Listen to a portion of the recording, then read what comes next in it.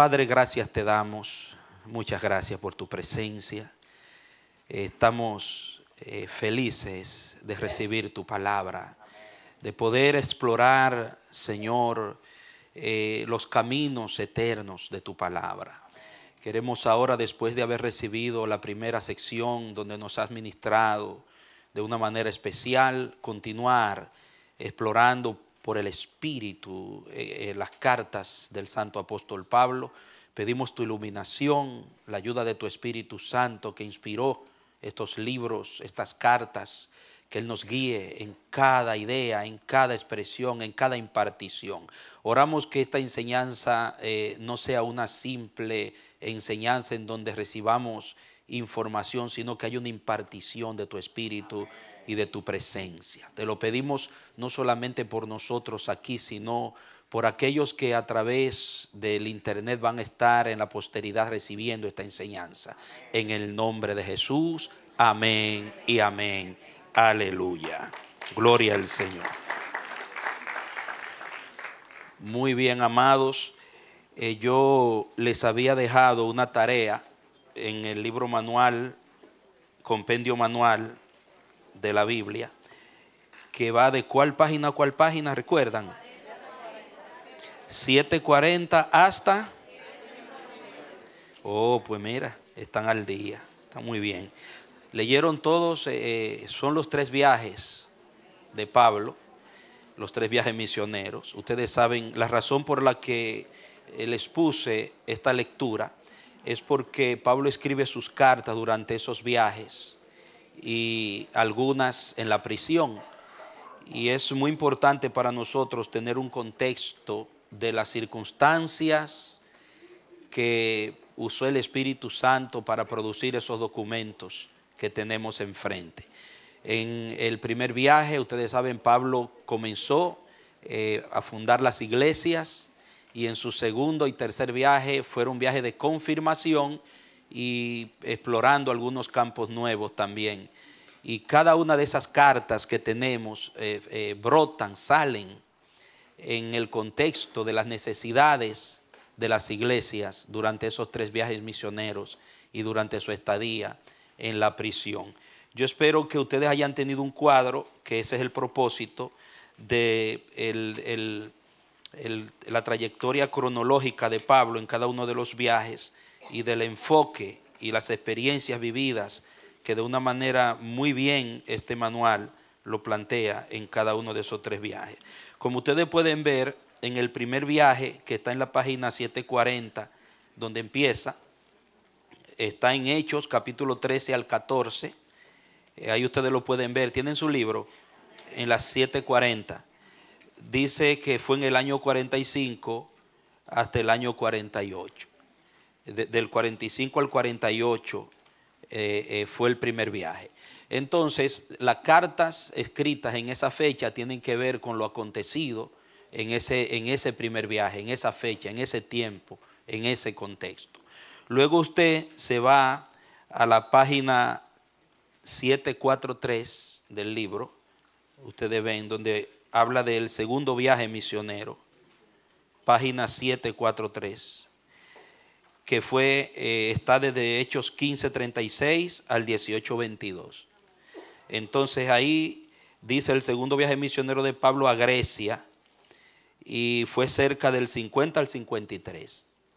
Entonces las cartas escritas eh, en esa fecha tienen que ver con el acontecimiento, los acontecimientos acaecidos en ese contexto de ese segundo viaje. Usted por la fecha en, la que se ponen las cartas podemos también explorar el campo histórico, el fondo histórico en el cual se producen los acontecimientos a los que se refieren. También luego Hechos 18, 23 al 20, 38, el tercer viaje en la página 747. ¿Lo ven ahí? El tercer viaje misionero de Pablo a Éfeso, cerca del 54 al 57 que de esa fecha del 54 en adelante es que se escriben las mayorías de las cartas. Eh, eh, primero y segundo de Tesalonicenses para atrás, Gálatas, ya pertenecen al primero y segundo viaje. Pero después las demás cartas ya se dan desde el 54 al 57, en el tercer viaje, que es cuando las iglesias ya están establecidas y están madurando y se levantan situaciones eh, que ameritaron que el Espíritu Santo le inspirara a Pablo a corregir situaciones ya en las iglesias establecidas eh, eh, formalmente, con ancianos, con gobierno dentro de ellas. luego se habla de los demás viajes de Pablo a Jerusalén, que son parte del tercer viaje. Hay existe la mención de un cuarto viaje del apóstol Pablo, eh, que no, lo, no aparece en la Biblia, el mapa del cuarto viaje. Hay algunas Biblias en, los últimos tiempos que tienen ese cuarto viaje, que eh, ustedes tienen en el apéndice, el apéndice 4, eh, ahí ahora en el folleto, no en el libro, sino en el folleto ahora, porque en el libro no está el cuarto viaje. Vaya al folleto y vaya al apéndice 4. Ok, ¿lo tienen? Muy bien, mire bien ahí, mírelo ahí. Es en la página 12. Dice el cuarto viaje misionero del apóstol Pablo. Usted ve ahí la línea donde empieza, ¿verdad? Eh, usted sigue la línea, ahí usted va, va a ver el viaje desde donde empieza y hasta donde regresa. Eh, que, eh, si usted ve dónde, dónde, dónde comienza la línea ahí en su, en su mapa. Comienza en Roma, ¿verdad? Porque fue lo que se piensa, lo que se piensa es que a él lo soltaron, estuvo preso en Roma y lo soltaron y le dieron, pero fue un, una breve, un breve tiempo de liberación. Y en, Pablo aprovechó, miren qué hombre era Pablo, qué calibre de ministro. Él estaba preso en Roma, le dan un, un, espacio de tiempo, lo sueltan, y en lugar de ir a botar el golpe y a coger un aire y, y como decimos, el hombre arranca y, y se va a hacer las misiones a ver su gente, a ver las iglesias y a, tratar de completar eh, deseos que, tenía en el espíritu. Por ejemplo, abajo hay una lectura, usted la ve, dice el 62 al 68, es la fecha que se plantea después de Jesucristo. Ahí abajo dice, está claro en Hechos 13.1 al 21.17 que Pablo salió en tres viajes misioneros. Eso está claro los, tres viajes, desde el 13.1 al 21.17. También hay razón para creer que hizo un cuarto viaje después de salir del encarcelamiento romano, anotado en Hechos 28, que es donde el libro de los Hechos termina, con Pablo preso en Roma. En una, en, ¿Me están escuchando todos? Ok. En el, en el capítulo 28 de los Hechos de los Apóstoles termina con Pablo preso en Roma predicando en una casa alquilada.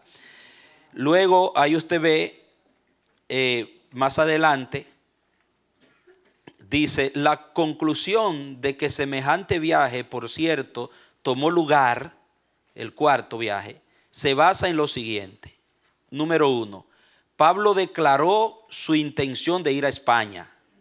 Había una intención en Romanos 15, 24 y 28 que él dice, he sido estorbado, he querido ir a España. Y aun cuando empieza en el capítulo 1 la carta a los romanos, él le habla de ese deseo de ir y tener algún fruto eh, entre, entre, entre ellos. Y después al final habla de España como otro deseo, aparte del deseo que él tenía de ir a Roma. Entonces plantea al final que tenía otro deseo de ir a España. Entonces, ¿qué pasa? Que según algunos historiadores, ellos piensan que ese viaje se dio. En el, punto 2, ahí mismo, mantenga ahí eh, eh, la línea de lectura, dice, la implicación de Eusebio de que Pablo fue libertado, eso lo relata Eusebio, usted dirá, ¿dónde sacan ese cuarto viaje?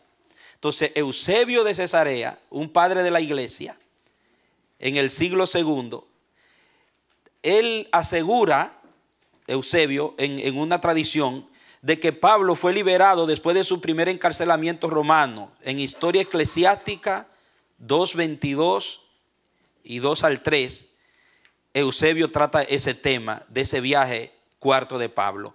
El punto 3 dice, declaraciones en la literatura cristiana antigua de que él llevó el Evangelio tan lejos como España.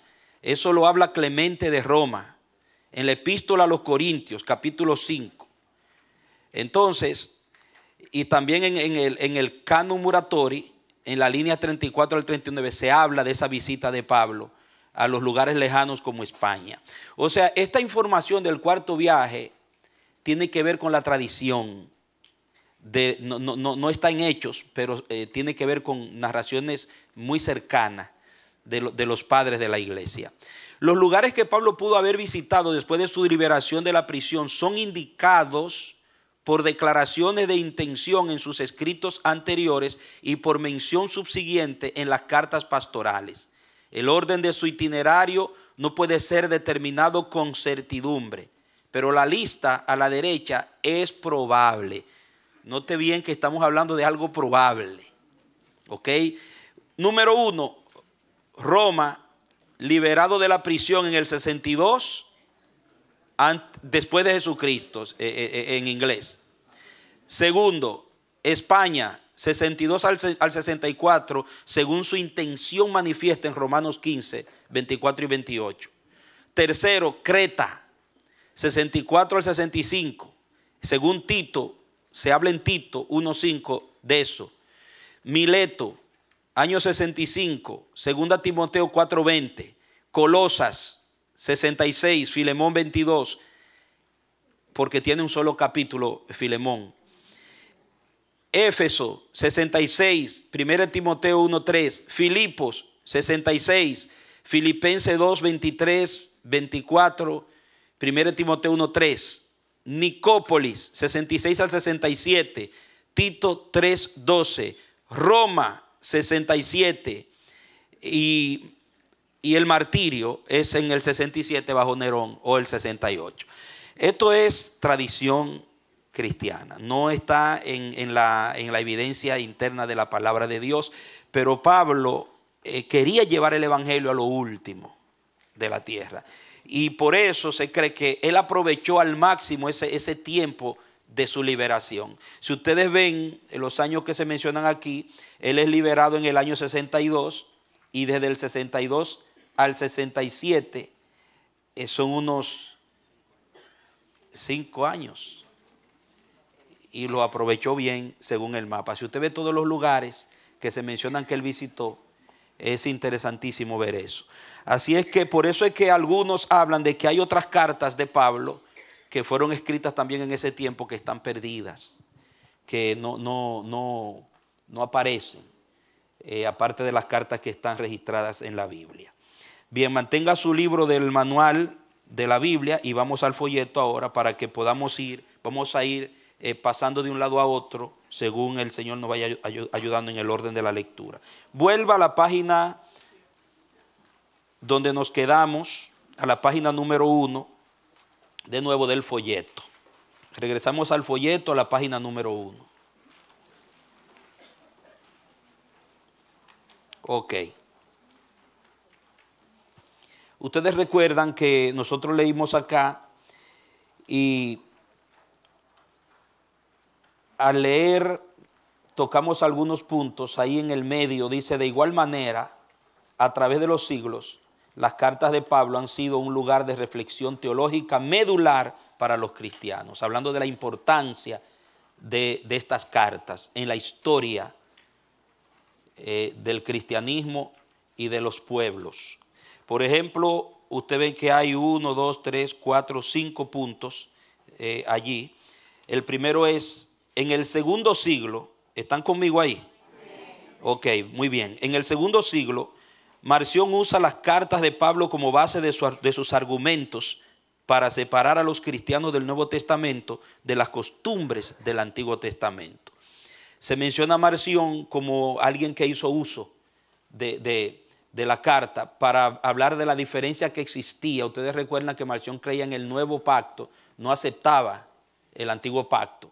Entonces él se basó en las cartas de Pablo, que eran diez, él no, no había aceptado las cartas pastorales de Timoteo y Tito, sino solo las otras cartas. Y él decía que según lo que le había sido revelado a Pablo, pues eh, eh, había que, separar totalmente la fe cristiana del judaísmo. Y Marción inclusive hizo su propio canon del Nuevo Testamento. Él, organizó su canon para así, y, fue, fue, fue, tratado como uno de los herejes de ese tiempo, y fue uno de los que motivó a la, a la organización del canon del Nuevo Testamento, porque los cristianos tuvieron que definir eh, qué vamos a creer y qué le vamos a presentar a la iglesia como documento autorizado apostólico. Luego dice, en el cuarto siglo, estas cartas paulinas fueron medulares en la definición de la salvación, la gracia y el pecado en el pensamiento de Agustín de Hipona. Si usted estudiara en cualquier momento la historia de Agustín de Hipona perdón, y su incidencia en el cristianismo es capital.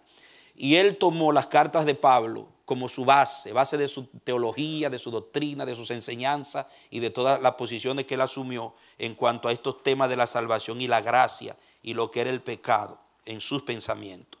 Luego también en los siglos del, oscurantismo de la iglesia politizada y apóstata, la iglesia católica, apostólica y romana, eh, los pre-reformadores hicieron un gran uso de las cartas paulinas en su práctica de la fe y para contrarrestar las falsedades existentes en las enseñanzas y el culto de la iglesia imperante.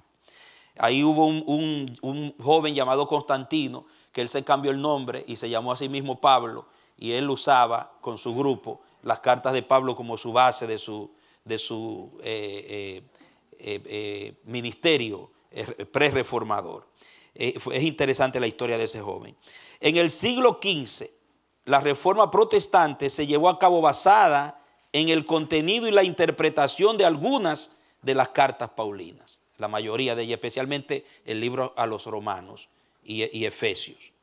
Luego dice en el siglo XX, Karl Barth, que ustedes saben, le hablé un poquito de él, que era un filósofo eh, eh, del, siglo, del siglo XX, dice que utilizó su comentario a los romanos para refutar el pensamiento liberal del siglo XIX. Más allá de estos casos mencionados, hoy, hoy, en nuestro tiempo, en la vida diaria de nuestras iglesias, es el lugar en donde las epístolas de Pablo han tenido su significado más profundo. Podríamos decir, sin temor a equivocarnos, que solamente el Evangelio mismo de Jesucristo ha tenido una preponderancia mayor que las cartas de Pablo en la fe de la iglesia cristiana solo superado por el Evangelio mismo de Jesucristo, que es la base de la fe apostólica y cristiana. Muy bien, luego yo quiero que usted se mueva conmigo, ya, eso, ya nosotros hablamos del personaje de Pablo, que por eso fue que le puse a leer los viajes, para que tuviera un cuadro de, de la vida ministerial de Pablo. En la página 3, página 3 del folleto, estamos todavía en el folleto, la letra se ennegrilla ahí, eh, después al final del primer párrafo, lo ve. Los gentiles solo tenían que observar el monoteísmo judío y la ética del amor y confiar en la fe de Cristo, según Romanos 3:22. Para Pablo, Cristo bastaba. Y ese es el contenido que usted va a ver en las cartas paulinas a la iglesia. Cristo es suficiente, la fe en Cristo. Eso era contra el eh, los judaizantes y aquellos que querían poner Jesucristo más la ley, Jesucristo más Moisés, más circuncisión, más ritos, etc. Entonces Pablo dice, con Cristo es suficiente. Es el tema central de las cartas, es Cristo, la fe en Jesucristo. Y claro, Pablo dice que eh, no, guardados de los ídolos, eh, la ética del amor y la práctica de la vida cristiana, donde se presentan muchos casos de la moralidad. Luego, otra vez, en el párrafo siguiente, en el medio, la letra en negrilla. Otra vez, ¿la ven? Las cartas de Pablo tomaron un nuevo sentido en este proceso de separación de la comunidad judía y la comunidad cristiana. Estas cartas proveyeron la ideología del cristianismo gentil más allá de la observancia legal del judaísmo. Fíjese que la trascendencia en las enseñanzas de las cartas paulinas tiene que ver con la diferencia entre el legalismo mosaico y lo que era la gracia en Cristo por el Evangelio que él predicaba y sostenía. Luego usted se va a la página 4 estamos eh, repasando puntos esenciales que quiero recordarles que tratamos, porque como tengo varios días que no, no he dado la clase, es bueno contextualizar antes de continuar. Usted ve que en donde dice algunos dilemas interpretativos, al final, el párrafo al final de, ese, de esa parte ahí, dice, por estos dilemas interpretativos, algunos han dividido las cartas en la forma siguiente. Uno, cartas auténticas de Pablo. Dos, las cartas de sus primeros discípulos. Tres, las cartas canónicas de sus discípulos más tardíos, o sea, las pastorales. Cuatro, los documentos extracanónicos a nombre de Pablo. Y cinco, un documento no paulino atribuido a él en el proceso canónico hebreo. Ese párrafo que yo le acabo de leer a usted, eso lo vamos a ir tratando en las clases subsiguientes. Porque históricamente tenemos que ver qué, quieren, qué quisieron decir ellos con eso, cuando hay cartas que se le atribuyen a Pablo sin discusión alguna, pero hay algunas cartas que se le atribuyen a sus compañeros, donde se menciona a Timoteo, por ejemplo, eh, se menciona a Silas, eh, otras personas. Algunos piensan que no fue Pablo quien escribió, sino ellos, pero se le atribuyen a Pablo. O a lo mejor fueron su amanuense. Pero eso hay un fondo muy importante en relación a eso. Luego, cuando habla de los documentos extracanónicos. Significa que no están eh, reconocidos en, el canon, en los 27, perdón, en las 13 eh, o 14 cartas, y Hebreos también la escribió Pablo, si, si fuera real que Pablo escribió Hebreos. Entonces eh, hay que ver esos documentos que se le atribuyen a Pablo. Y también documentos paulinos, no paulinos, que se le atribuyen a Pablo. Que, supuestamente algunos piensan que Pablo los escribió, pero parece que no fue él. Entonces todo eso lo veremos en el camino. Pablo y su autoridad apostólica. No vamos a leer los textos porque ya pasamos por ahí, pero ustedes recuerdan que vimos eh, su experiencia de la visión celestial, llamado directamente por Jesús. Jesucristo se le apareció a Pablo, él vivió una experiencia real donde recibió el llamamiento y la autorización para su apostolado. Eh, también su elección apostólica de la cual él hace uso en, Gálatas, cuando le, eh, escribe a los Gálatas, corrigiéndoles el hecho de que se hayan vuelto a la ley, eh, siendo que él pues los estableció en la gracia. Luego la letra C, su autoridad profética, donde Pablo habla de que lo, lo, que le hablo, se lo hablo de parte del Señor, y el que rechaza lo que yo le digo, rechaza al Señor. O sea, no son simples palabras mías, son palabras que tienen una autoridad espiritual, una autoridad que tiene que ver con la que Cristo a mí me dio. Y el que rechaza lo que yo le, estoy enseñando es como si rechazara al Señor mismo. Eso habla de autoridad. Luego la letra E, su autoridad en relación con los otros apóstoles. Pablo al compararse con los apóstoles, él dice, yo no soy ni más ni menos que los otros santos apóstoles.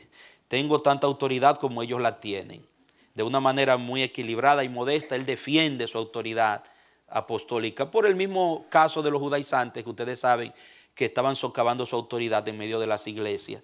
Y Pablo tuvo en cierto momento que eh, sacar a la luz sus credenciales sin, sin eh, eh, caer en el extremo de la vanagloria. En la letra E dice su autoridad moral y espiritual. Ahí también Pablo se refiere a su apostolado. Eh, defendiendo su apostolado ante los corintios, que fueron también muy afectados. Luego ustedes ven, dice, independientemente de estos detalles internos en sus cartas, tenemos otros detalles sobre este factor de su autoridad apostólica. Número uno, Pablo había sido el gran misionero padre de la mayoría de las comunidades cristianas gentiles. Eso nadie se lo puede quitar. Segundo, la autoridad de estas cartas paulinas para dilucidar asuntos prácticos y teológicos en el cristianismo. Y usted pudiera añadir ahí a través de su historia. Eh, los escritos de Pablo han sido eh, capitales, fundamentales para definir asuntos que tienen que ver con el cristianismo en la historia de la iglesia.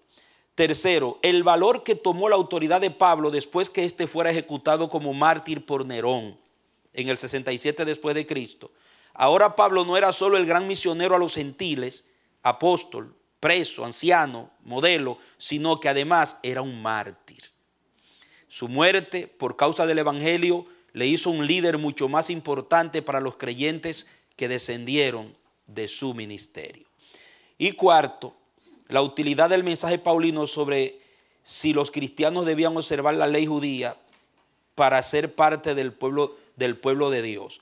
Las cartas de Pablo sirvieron de fundamento para librar al cristianismo de su dependencia de la observancia de la ley y para darle una identidad religiosa propia. Eso es, eso es fundamental. Esto es bien importante, hermano. Y yo le hice a ustedes ciertas ciertos remarques sobre las corrientes judaizantes modernas, ustedes recuerdan, que están tratando de llevar la iglesia otra vez a las costumbres del judaísmo. Y Pablo, el, que ha conocido a Pablo y el que se ha leído las cartas de Pablo y se le ha abierto la enseñanza paulina, jamás va a caer en las redes eh, eh, eh, erráticas del judaísmo moderno. Porque aquí está claro que la iglesia tiene su identidad propia. Pablo con los escritos que el Espíritu Santo le concedió, le, dio a la iglesia una herencia de identidad, como dice aquí, propia, y, la diferenció de lo que era el judaísmo tradicional. Luego él, dice el cristianismo tuvo el, el cristianismo tuvo ante sí dos caminos. Tuvo el cristianismo ante sí. Continuar como una secta judía minoritaria u optar por un movimiento mayormente gentil. Las cartas de Pablo funcionaron como la ideología del cristianismo con opción gentil. Y contrario al camino judeo-cristiano más rígido, que luego se, fundió con el resto del judaísmo formativo del periodo. Y eso no fue tanto por, por la iglesia que fundó Pablo, sino porque los mismos judaizantes llegó un momento que comenzaron a perseguir a los cristianos y a decirle defínanse. O son de la línea de Pablo o son de la línea nuestra. Y tuvieron que definirse. Eh, eh, hubo una parte que se quedó con su judaísmo tradicional y hubo otra parte que siguió el camino de la gracia en Cristo, como los apóstoles lo habían enseñado. Luego ahí usted va a ver el orden canónico en las cartas que en segunda de Pedro 3, 15 al 16 se menciona ya la existencia de las cartas de Pablo. Cuando Pedro habla y dice, según os ha escrito nuestro amado hermano Pablo, ahí, ahí está la lectura que eh, usted al leerla se da cuenta que Pedro respetaba la autoridad apostólica de Pablo. Y eso es bien interesante porque si los evangelios se escribieron desde el año 55 en adelante, eh, Mateo se sugiere que se escribió en el año 55, después 61, eh, Lucas y 62, 63, Marcos, Juan en los años 90. Si es así, Pablo, los escritos de Pablo, eh, en ejemplo Gálatas y primera y segunda tesalonicense, se escribieron antes que los evangelios. Aunque lo que esos escritos narran, no se olviden de ese detalle, tiene que ver con el tiempo de la iglesia, que fue después de cuando Cristo estuvo en la tierra y, llevó a cabo los hechos que se narran en los evangelios. Es importante tener claro eso, que los evangelios, aunque narran acontecimientos que fueron antes de, los acontecimientos que narra Pablo, los escritos, los documentos de Pablo circularon primero que los evangelios, como, como escritura, quiero decir. Porque recuerden que habían enseñanzas orales que estaban en la iglesia, que fueron las que después se, se escribieron. En la página 6, mire la página 6, el, segundo párrafo,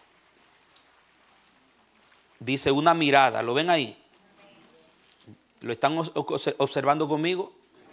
Dice, una mirada a las cartas de Pablo, tal como están organizadas en el canon. Recuerden que el canon es la lista de los libros del Nuevo Testamento tal como están organizadas en el canon, nos da una vista de la intención del proceso canónico. Las cartas circularon en dos versiones, una organizada por fecha de publicación y otra por el tamaño de los libros. Habían dos formas como circulaba la lista. Había una lista que estaba ordenada según, como dice ahí, sus fechas de publicación. Pero había otra lista que era de acuerdo al tamaño de los libros. Al final, dice, el criterio que prevaleció fue el de tamaño, de mayor a menor extensión. La carta que encabeza la lista de las cartas paulinas es una de las últimas cartas que escribió el apóstol Pablo que fue la carta a los romanos. Por ejemplo, veamos el apéndice 6 de la página 14. Vaya, eh, eh, mantenga un marcador ahí algo para que cuando volvamos eh, no se me pierda y vaya al apéndice 6. O sea que el orden que se quedó fue el de volumen de las cartas. Usted va a ver que las cartas de Pablo van de un volumen de acuerdo al tamaño, de, menor a mayor, de mayor a menor, de mayor a menor. Por ejemplo, cartas de Pablo, ¿ya lo tiene el apéndice? Página 14, mire. A medida que el cristianismo primitivo se esparcía, había una urgente necesidad de los cristianos de mantenerse en contacto con la enseñanza de Jesús y los apóstoles, para saber cómo aplicarla a sus vidas. Esta necesidad hizo surgir las epístolas o cartas, trece de las cuales fueron escritas por el apóstol Pablo. La dramática conversión de Pablo se registra en Hechos 9, 22 y 26. Su encuentro con Jesús lo transformó de un perseguidor de cristianos al fundador de las iglesias, al fundador de iglesias y escritor de cartas más influyentes entre los cristianos del primer siglo.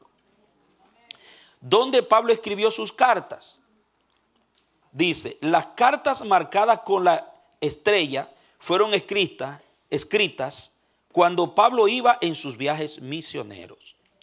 Las cartas marcadas con el punto fueron escritas cuando Pablo era prisionero en Roma al momento de Hechos 28. Y las cartas marcadas con la pirámide o el triángulo fueron escritas cuando Pablo fue libertado de su prisión, de la cual leemos en Hechos 28. Él fue hecho prisionero después y ejecutado por predicar acerca de Jesús. Segunda Timoteo fue escrita durante su última estadía en la cárcel. Las primeras nueve cartas de Pablo fueron dirigidas a grupos de creyentes o iglesias. Las últimas cuatro fueron escritas a tres personas, Timoteo, Tito y Filemón. Romanos tiene que una estrella, ¿verdad? Eso significa que fue escrita durante sus viajes misioneros en Corinto. Lo vamos a ver más adelante. Primera de Corintios que tiene fue escrita durante su viaje. Lo mismo segunda de Corintios y Gálatas, viaje misionero. Ahora, Efesios, que tiene puntito, Filipenses y Colosenses, fueron escritas ¿dónde? En la prisión. Luego usted ve Primera Tesalonicenses y Segundo Tesalonicenses durante viaje misionero. Fueron una de las primeras que él escribió. Y primero y segundo Timoteo, ¿cuándo? Cuando fue libertado y Tito, en ese espacio de la liberación. Y Filemón, ¿Cuándo? Estaba preso, guardado estaba cuando escribió Filemón.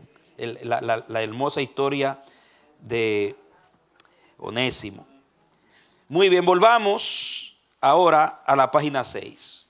Salga del apéndice y vaya de nuevo a la página 6. Nosotros nos quedamos, leímos Romanos, 1 Corintios y nos quedamos en 2 de Corintios.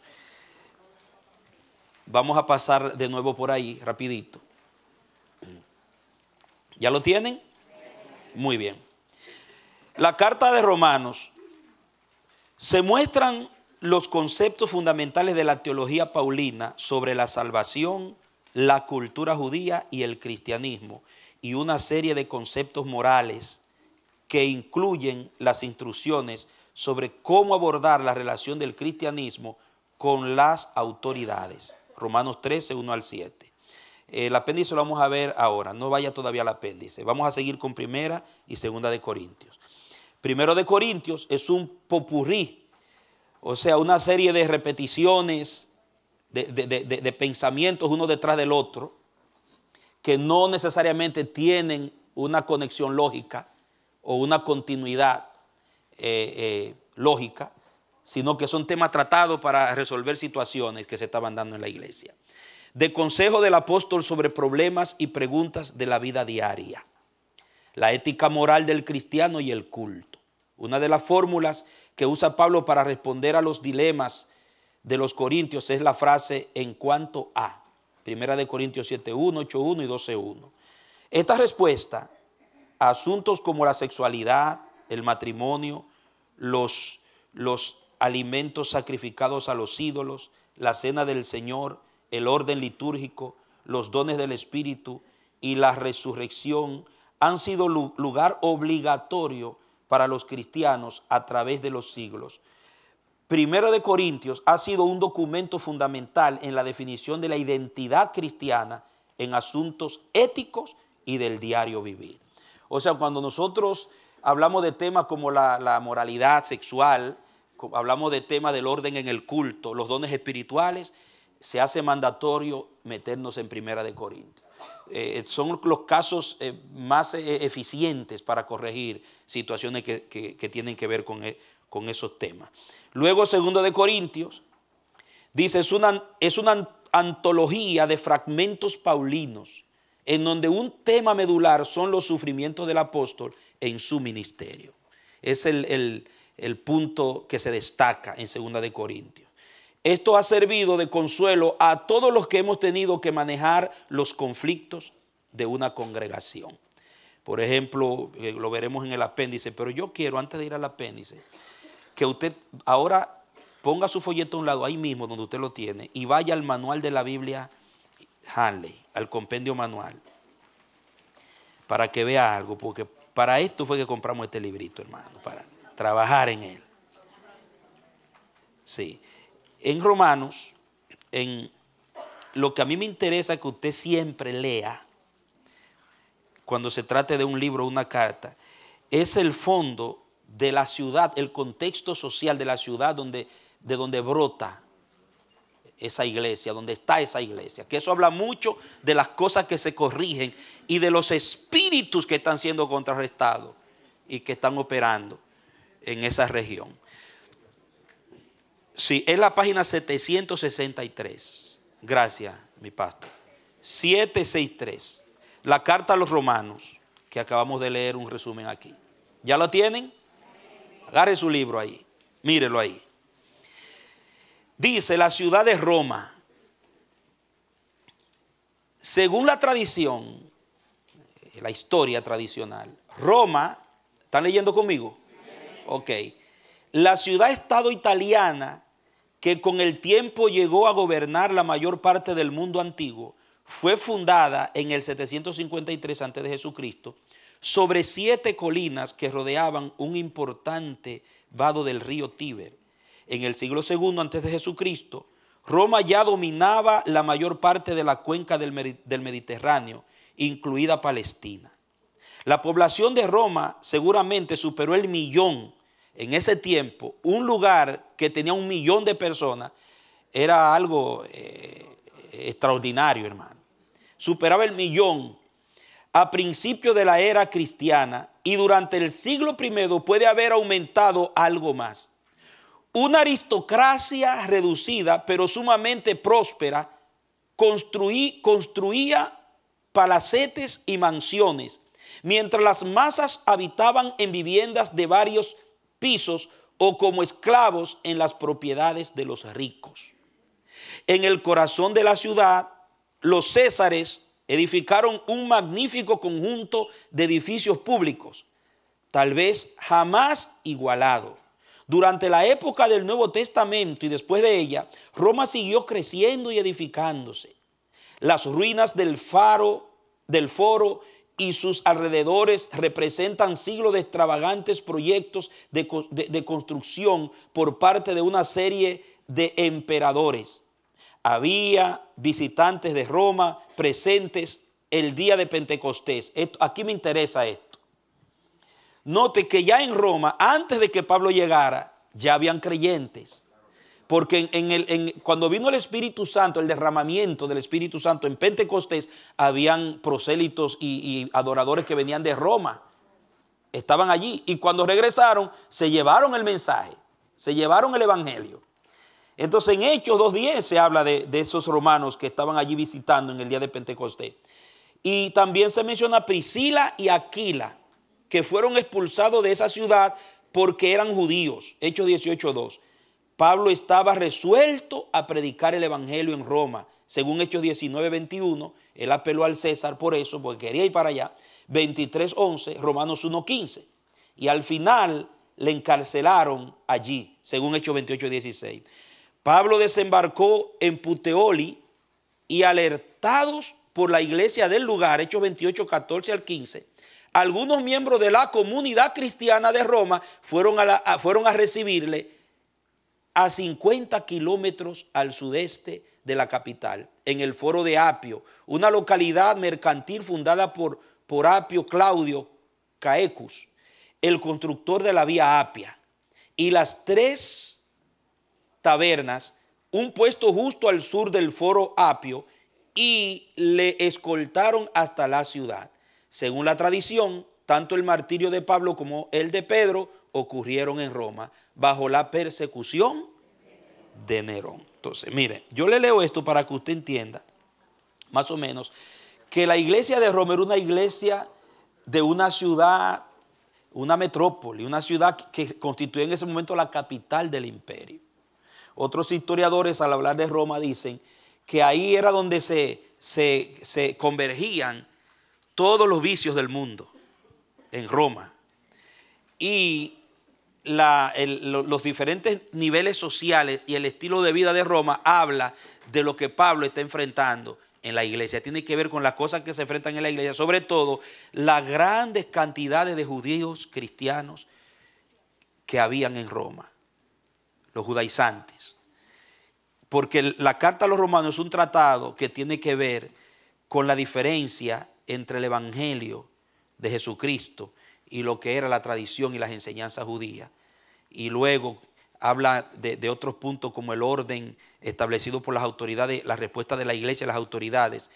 Eh, se, tratan situaciones de moralidad también.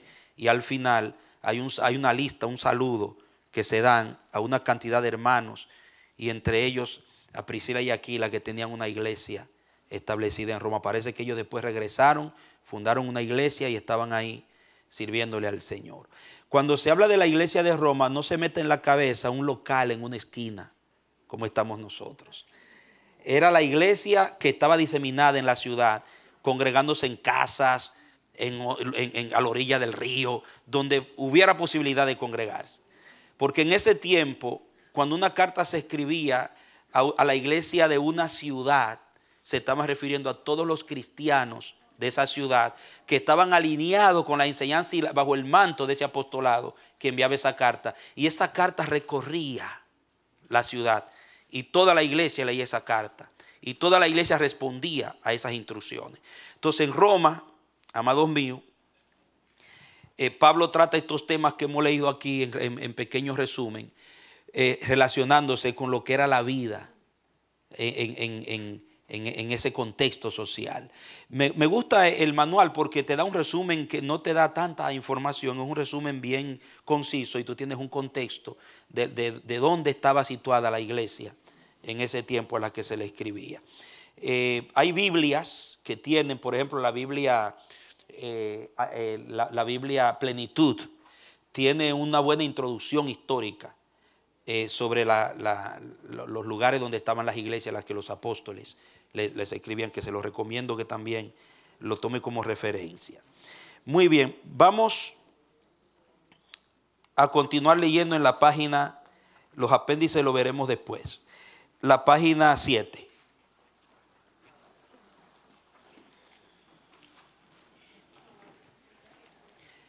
Dice, Gálatas, ¿están conmigo ahora en el folleto? Volvimos al folleto ahora. Gálatas. Es conocida como el Tratado de la Libertad Cristiana. En ella se plantea una discusión detallada y apasionada, esa palabra márquela, sobre la libertad. Si usted nota cómo Pablo comienza la carta a los Gálatas y cómo comienza las otras cartas, se da cuenta que Pablo estaba bien disgustado con los Gálatas. Él empieza diciendo, Pablo, apóstol Jesucristo, no por voluntad de hombre, de una manera bien directa. Entonces, por eso se menciona esa palabra, es una carta apasionada sobre la libertad que tienen los cristianos gentiles en relación con las observancias de la ley judía. Usted lo ve en el capítulo 5, verso 1 al 10. Eh, luego veremos los apéndices, no vamos a ir ahora a los apéndices para no tenerlo tanto corriendo de acá para allá. Efesios, en los manuscritos más usados, no tienen la palabra Éfeso. Eh, ese nombre, carta a Éfeso, se lo pusieron después los padres de la iglesia. Cuando empezó la carta circular, no tenía el nombre Éfeso. Algunos piensan porque fue una carta eh, enviada no solamente a Éfeso, sino también a, Colosa. Una circular, piensan que era. Pero Luego los padres de la iglesia eh, eh, vieron como Éfeso el, territorio central a donde fue enviada la carta y ellos le pusieron que fue a, los Efesios. Dice, originalmente parece ser más bien una carta general.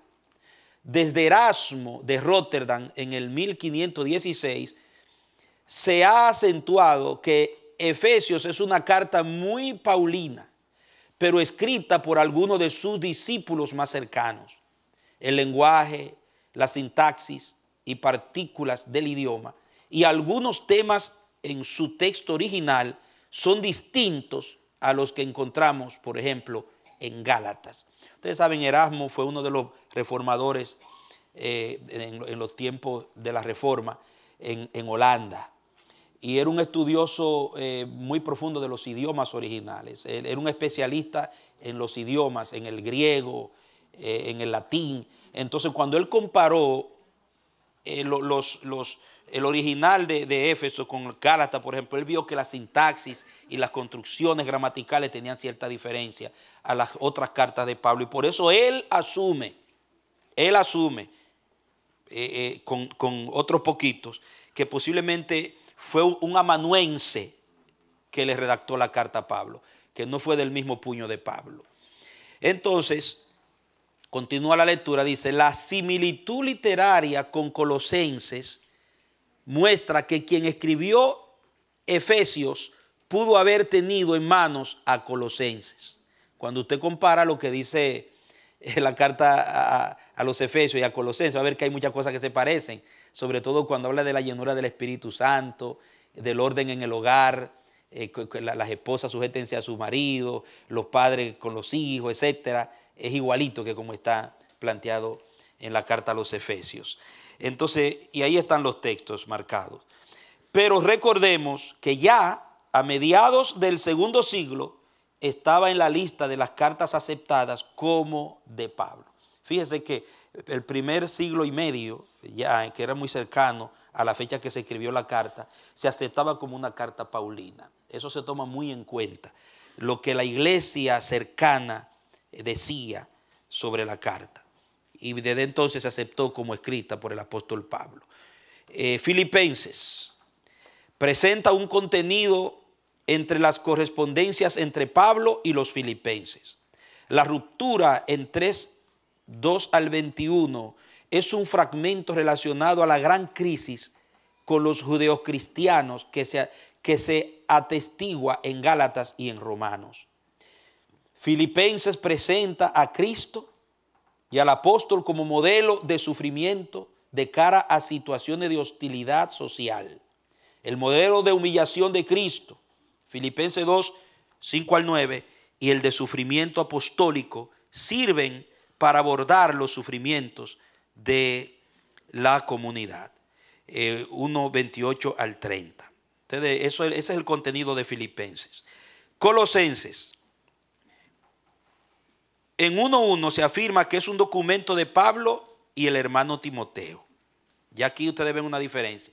Se menciona a Timoteo también como, como el remitente, junto con Pablo. Es posible que en su redacción un discípulo de Pablo haya fungido como secretario. Colosenses tiene 50 palabras que no aparecen en las demás cartas de Pablo. Las enseñanzas sobre los esclavos, las mujeres y el patriarcado son distintas a las que encontramos en Gálatas y en Primera de Corintios, por ejemplo, Colosenses 3:18 al 4:6. El argumento contra las prácticas de los adversarios teológicos judíos cristianos es coherente con la teología paulina. O sea, cuando se compara lo que es la teología paulina acerca de este tema, hay una coherencia muy profunda. Por eso se le atribuye, en la tradición se le atribuyeron sin problema al apóstol Pablo. Eh, claro está que nunca se descarta que Pablo pudo haber usado un amanuense para que eh, él dictaba y la persona escribía. Primera a Tesalonicenses, posiblemente es la carta más antigua del apóstol. Eso se cree que fue la primera que escribió. Está en competencia con Gálatas. Las enseñanzas medulares tienen que ver con la segunda venida de Cristo. También el problema de los creyentes que estaban muriendo por la causa 1 Tesalonicenses 4, 13 al 18. Segundo Tesalonicenses. Para muchos eruditos es una escritura de algún discípulo de Pablo. Aquí también lo medular es la enseñanza sobre la venida de Cristo. En 2.1 se corrige la enseñanza de un grupo que señalaba que el Señor ha venido ya. Había un grupo que ya estaba predicando que Cristo ya vino. Como hoy hay algunos que dicen que ya vino también. Y Pablo va a enfrentar, dice, señala que el Señor no puede venir, dice Pablo, les enseña, hasta que se cumpla un itinerario apocalíptico que está señalado en el 2.1 al 12. Habla del hombre de pecado, no vendrá sin que antes se manifieste y se ha quitado lo que lo detiene, eh, ya ustedes saben. Se corrige la errada actitud de algunos que frente a la inminente venida de Cristo han dejado de trabajar y estaban aprovechándose de los demás. Ustedes, ahí es que está el famoso versículo, el que no trabaja, Bien. Y era que, oiga, como Cristo viene, vamos a vivir del cuento. ¿Para qué afanarse? Y Pablo corrige ese problema.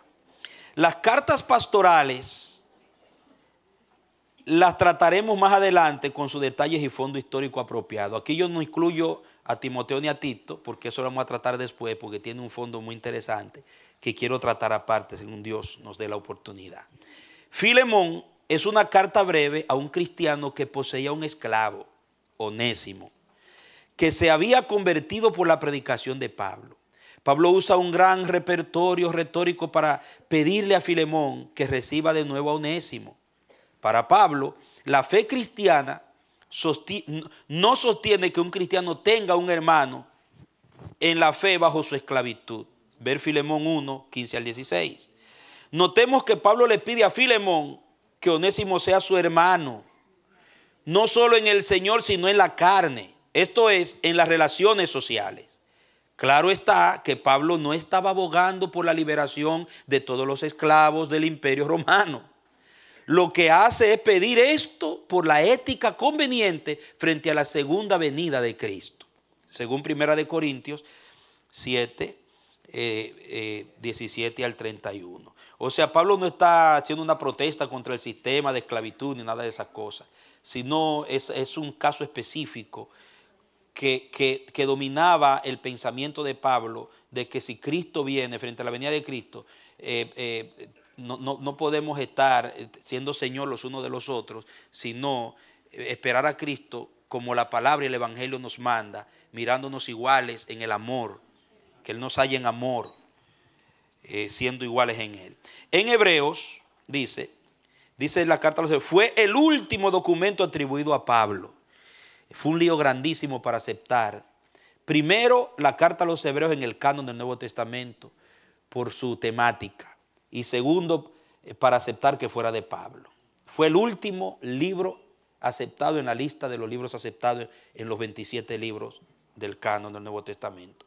Y, también el último documento atribuido a Pablo. Después de mucha discusión por el contenido, no similar con los otros escritos atribuidos a Pablo, también trataremos este documento aparte en otra ocasión para así profundizar en su detalle. Es muy interesante el fondo de Hebreos.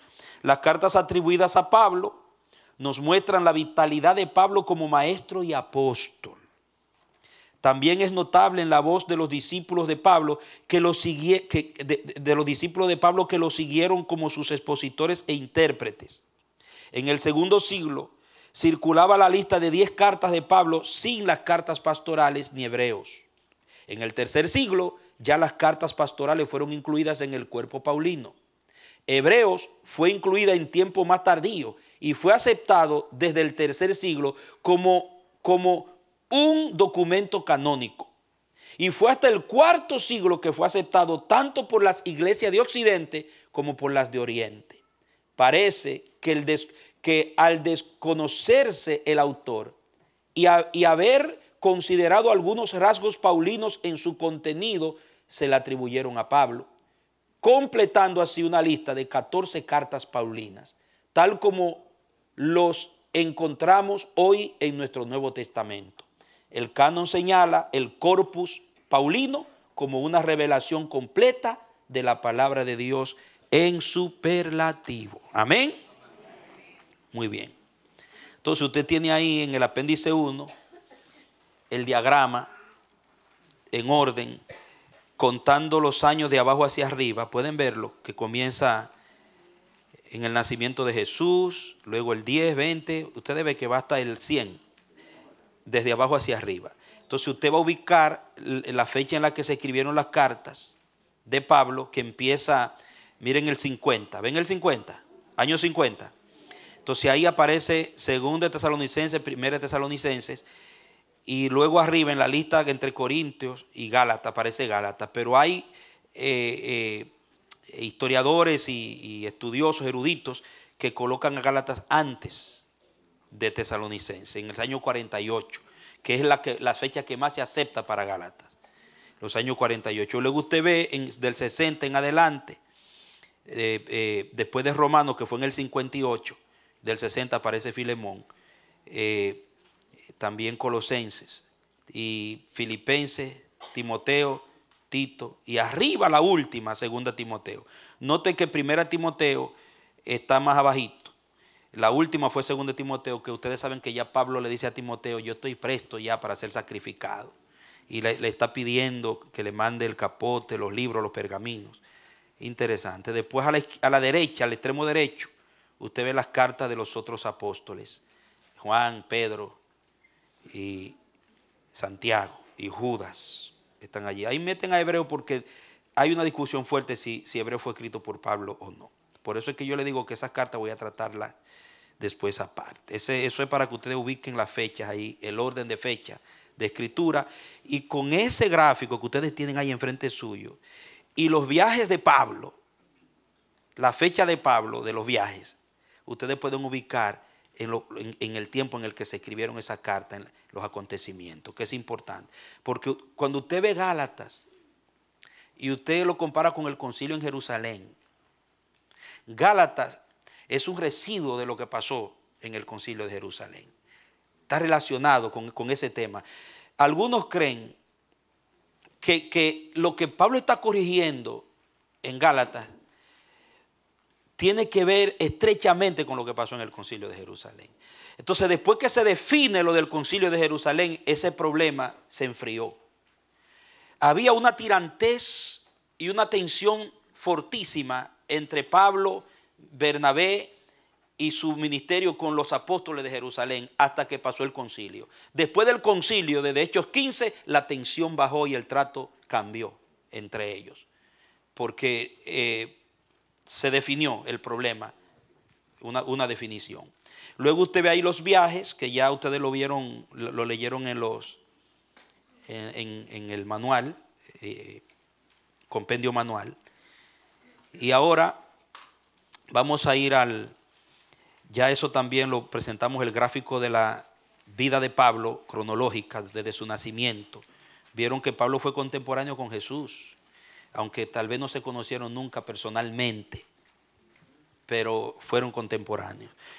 El, apéndice 7, Romanos, eh, ¿por qué otra vez vamos a ir? Porque yo quiero que ustedes, si ustedes se, graban o absorben estos resúmenes de las cartas, cuando ustedes estudien y lean una carta y escuchen una predicación, ustedes van a tener un cuadro más amplio de la enseñanza. Van a como el pastor decía en la primera entrega esta mañana, conocer eh, el, fondo histórico y la estructura de los documentos bíblicos nos aporta un campo amplio de entendimiento y de aplicación a nuestras vidas. ¿Qué pasó conmigo cuando yo entendí esto? hermano. En, el caso mío como maestro, antes de ser pastor, como maestro, porque tomé eh, discipulado y nos enseñaron estas cosas antes de yo ir al seminario. Había una escuela como aquí ahora, en, la iglesia donde creí, eh, bíblica, y te enseñaban, pero de una forma un poquito más resumidita, más, más lechita, más adecuada al, al creyente nuevo. Y cuando yo tenía que hablar con alguien sobre un problema moral, ya yo sabía dónde yo tenía que ir a escarbar para hablar con esa persona de ese problema. Por las cartas. Cuando tenía que, ver con un, problema de, de legalismo, de extremos en la fe, de alguien que está aplicando la palabra como machete, como acortando cabeza. Entonces ya yo sabía dónde yo tenía que ir. Eh, Donde eh, eh, había un contexto donde los apóstoles trataron eso para bregar con la persona y ayudarla. Y eso va a pasar con ustedes. Es muy importante. Entonces, por eso es que los, resúmenes que estamos dando, eh, eh, estructurales de las cartas, le van a ayudar inmensamente si usted eh, lo captura y lo absorbe debidamente. Por ejemplo, en el apéndice 7 volvemos a la carta a los romanos. Es una carta escrita a quién? Iglesias. ¿Verdad? Mire bien abajo y dice cartas a iglesias. Ahí están las cartas. Luego las otras cuatro a la derecha, individuales. Fueron a personas, aunque son útiles también para la edificación de la iglesia, pero en su, en su primera entrega eran para individuos. Mira el propósito y tema.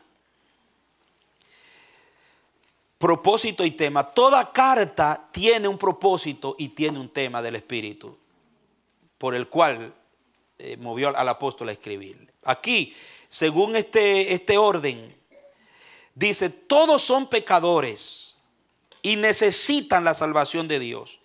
Dios envió a su Hijo Jesús para ser nuestro Salvador. A los que confían en Cristo como Salvador les son perdonados sus pecados y gozan de vida eterna con Dios.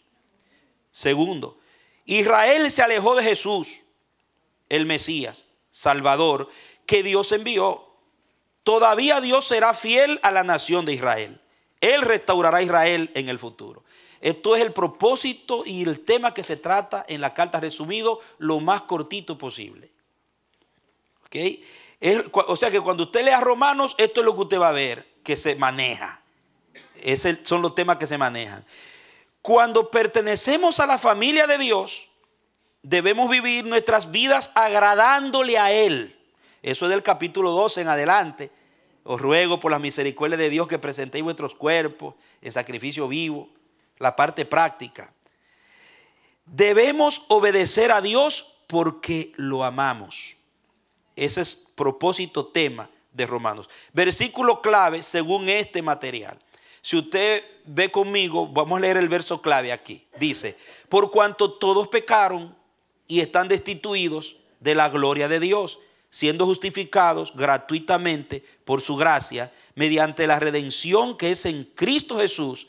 Eso está en Romanos 3, 23, 24. Según el, autor de este esquema, ese es el versículo clave, pero no significa que Pablo tenía en la mente un versículo clave. Para Pablo todo lo que le está enseñando en el libro es clave.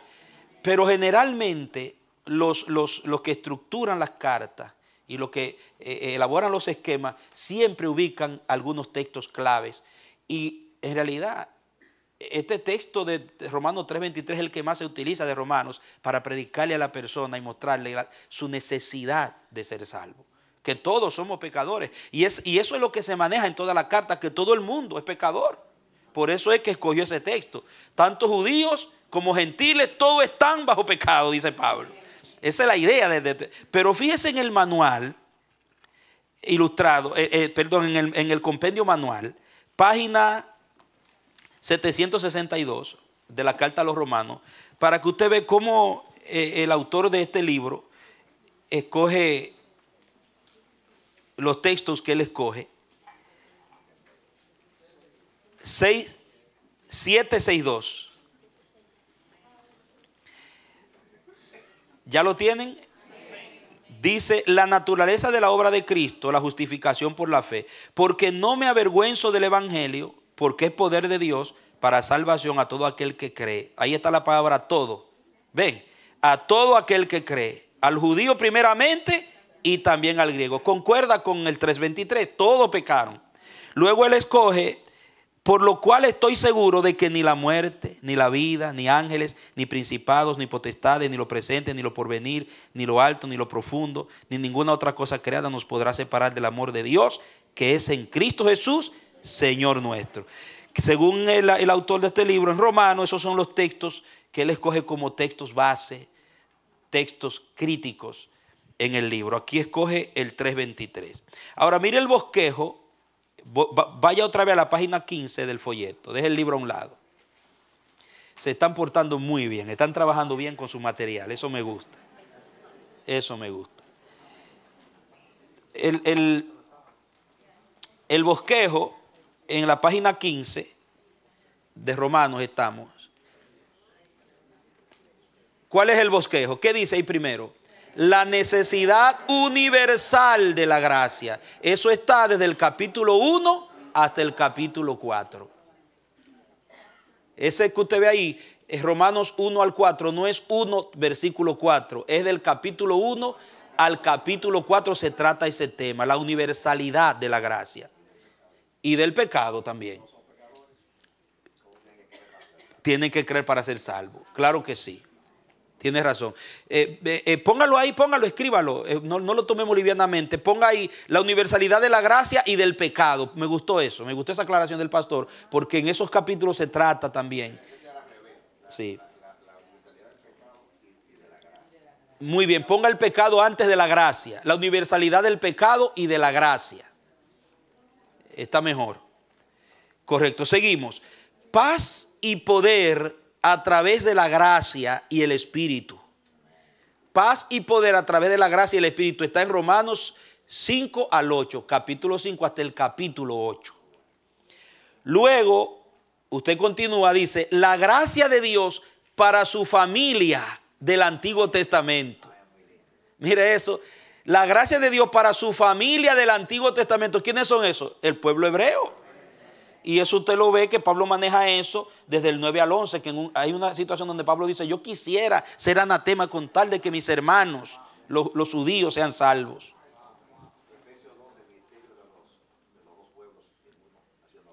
En Efesios 2 está también el ministerio de los dos pueblos en uno haciendo la paz.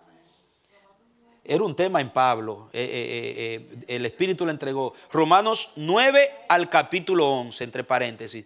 Luego dice aplicaciones prácticas para el mensaje de la gracia. Del 12 al 16 entonces se dan una serie de consejos prácticos. Y eso es algo que usted va a destacar en todas las cartas de Pablo y de los apóstoles. Los apóstoles primero te trazan el contenido teológico de la enseñanza. Te lanzan los temas que, y después al final terminan con una parte práctica. Aplican a la vida práctica lo que ellos quieren que la iglesia viva en la comunidad donde están. ¿Cuándo sucedieron los eventos? Siempre van a ver esto en los apéndices y es la fecha. Usted ve del año 45 hasta el año ¿qué? 95. Que está hablando de, todo el transcurso de los años en el que se escribieron los libros del Nuevo Testamento. No, no, se, no se conoce un libro del Nuevo Testamento escrito antes del 45. Todos están después. Entonces las fechas probables de las cartas, se dice probable porque son fechas aproximadas. Por ejemplo, usted ve ahí 45 antes de Cristo, 57, 58, 59. Cuando hablamos de Romanos, ¿dónde aparece? ¿En qué fecha aparece Romano? 57. Mira el, el triángulo ahí, la pirámide, la ve, negrita. Donde esté ese, ese triángulo negrito, esa es la fecha en la que eh, aproximadamente se escribió el libro. Entonces habla de los viajes misioneros de Pablo y fue durante un viaje misionero, estando en Corinto, que Pablo escribió la carta. Si usted se va a su manual, eh, al compendio manual, no, ahora no, oiga, es, un, eh, le, le voy a dar datos para que usted sepa cómo manejarse en este asunto del estudio de los libros. Usted va al compendio manual y estudia sobre Romanos. Usted va a ver que ahí le van a dar los detalles de desde dónde fue que se escribió el libro, ¿ah? cuándo Pablo lo escribió, en qué circunstancia lo escribió, eh, cuál era la circunstancia que se estaba moviendo en ese. por eso es que, es que ese libro usted lo tiene en la mano.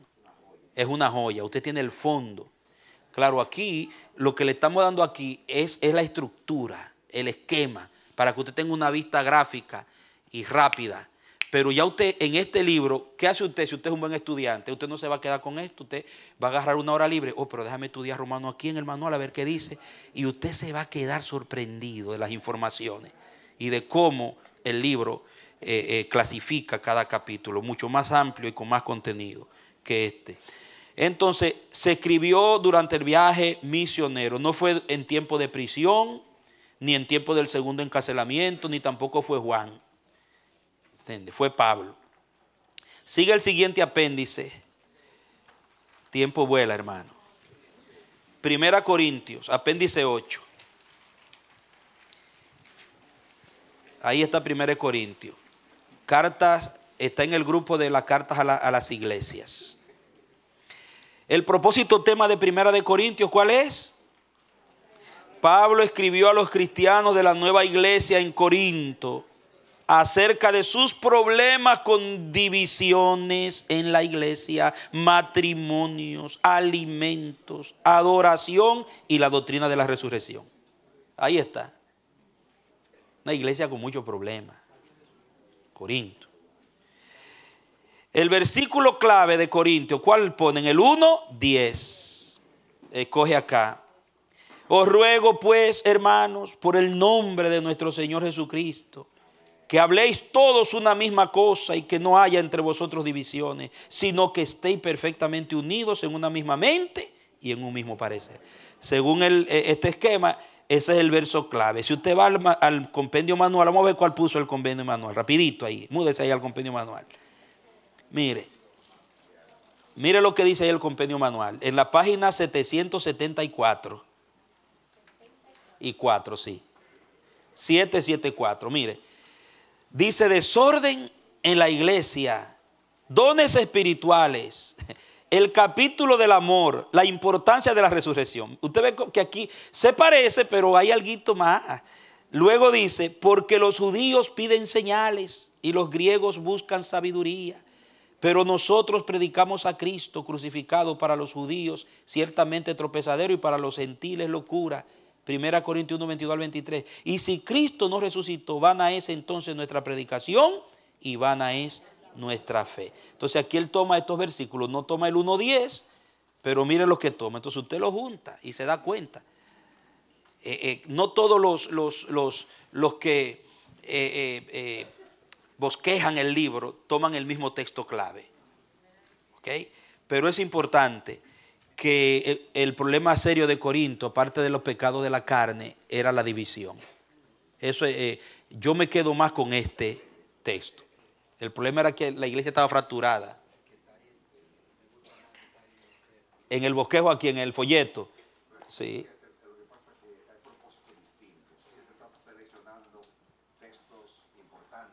Escuchen, escuchen esto. Eh, o sea, el propósito eh, de, cada fuente es diferente. Este, este, este está hablando de textos que, son reveladores, claves, importantes, pero este está hablando en realidad un texto que resume el contenido del libro, que es muy diferente. Exacto.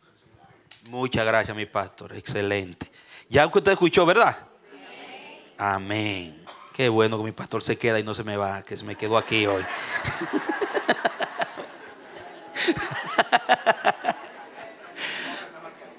Doce mejor que uno.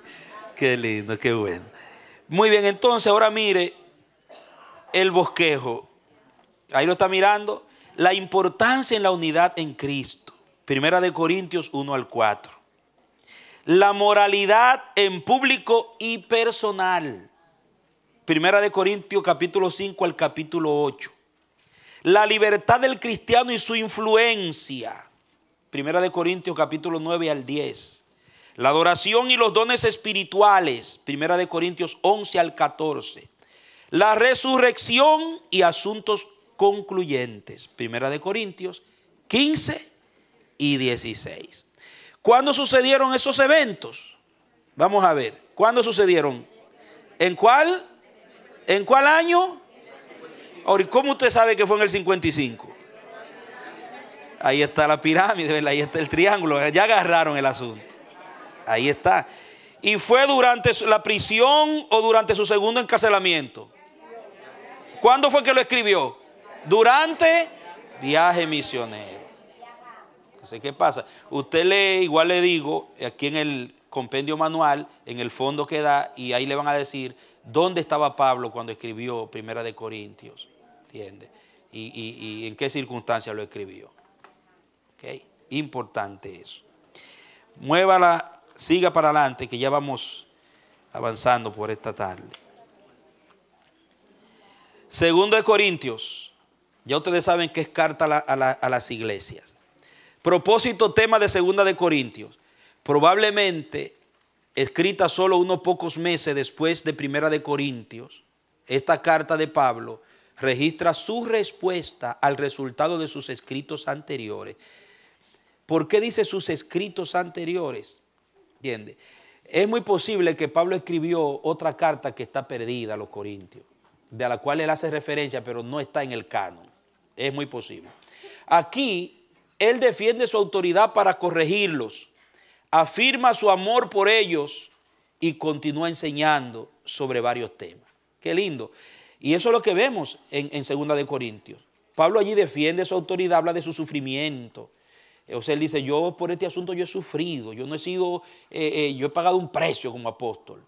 Y también habla eh, de su amor por ellos. Pablo se muestra muy tierno en algunas ocasiones y continúa enseñando sobre varios temas. El versículo clave de 2 de Corintios, según acá, así que somos embajadores en nombre de Cristo, como, como si Dios rogase por medio de nosotros.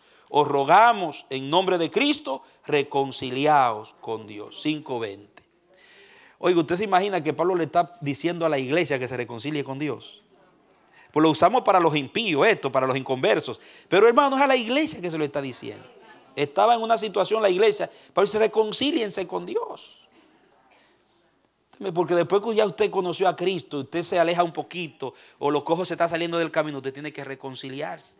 Se puede usar también para una persona que no ha conocido a Dios, porque volver a Dios es también, dice que el Señor estaba en Cristo reconciliando consigo al mundo.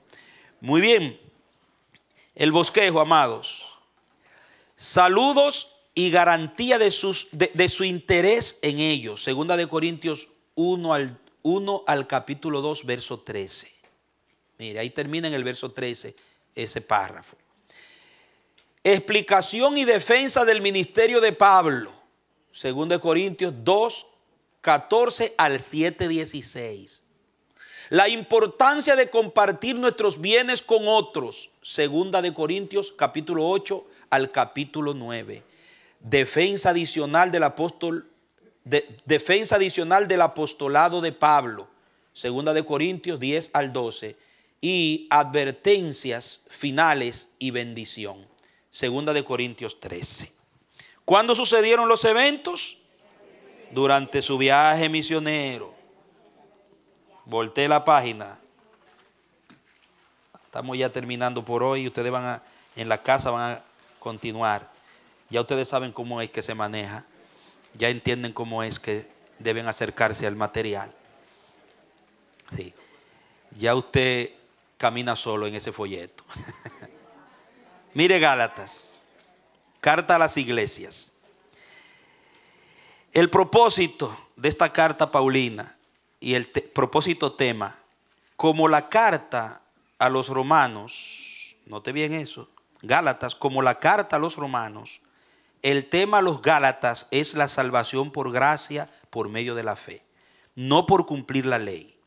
La carta fue escrita para que circulara a través de las iglesias, dice de las iglesias, pero se recuerdan como le dije que era la iglesia, eran, er, eran toda la comunidad del Señor en la ciudad de Galacia, no era en un local específico. Entonces, pues se puede decir las iglesias en Galacia, una provincia romana que hoy día está en Turquía. O sea, ahí es donde, la región de Turquía. Versículo clave. Sabiendo que el hombre no es justificado por las obras de la ley, sino por la fe de Jesucristo. Nosotros también hemos creído en Jesucristo para ser justificados por la fe de Cristo y no por las obras de la ley. Por cuanto por las obras de la ley nadie será justificado. Eso está en el 2.16. ¿Usted se acuerda, pastor, la serie de enseñanza de los Gálatas? Poderoso. Eso hay que sacar eso, porque eso ahora más que nunca. Más de 60 enseñanzas sobre el libro de los Gálatas. Poderosa. Busque eso. Ojalá que eso esté por ahí disponible se necesita. Bosquejo. Introducción y defensa de la autoridad de Pablo. Gálatas 1 al 2, capítulo 1 al 2. La salvación por la gracia afirmada e ilustrada.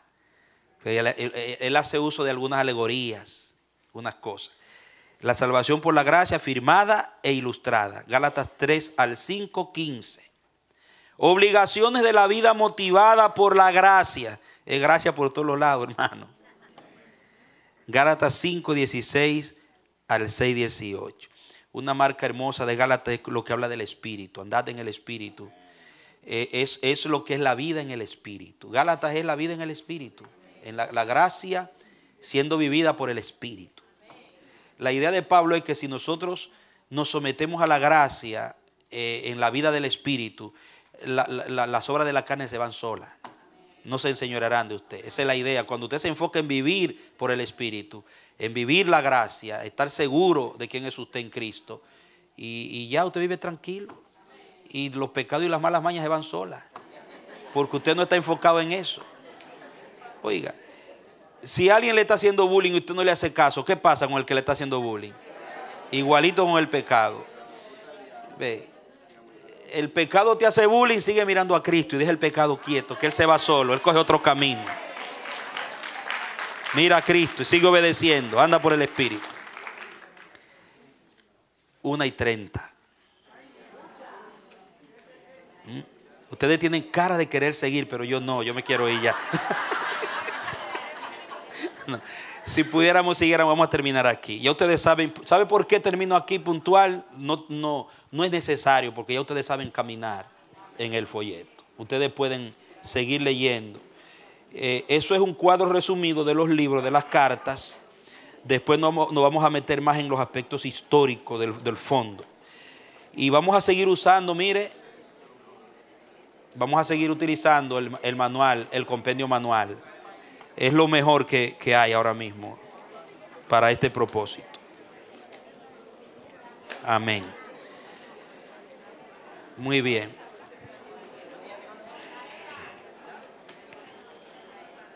Vamos a orar para terminar, mis amados. Ya ustedes saben, eh, lleven a cabo su tarea. Yo le voy a recomendar como tarea terminar los esquemas que faltan. Esa, es la tarea. Termine las páginas que faltan, los apéndices que faltan. Y usted va a leer en, en, en el manual, el compendio manual, desde el, la carta a los romanos, que es la página 760 y y 2 hasta la carta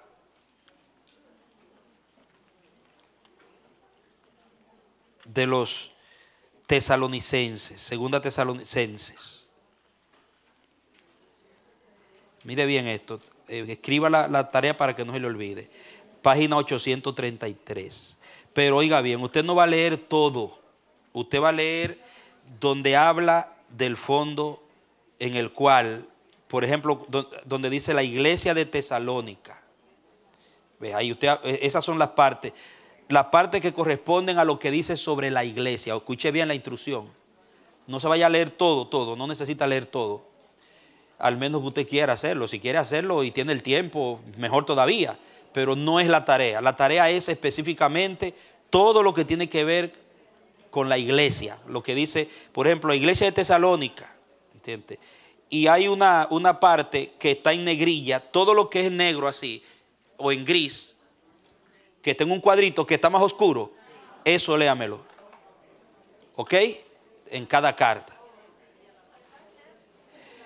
Es la página 762 hasta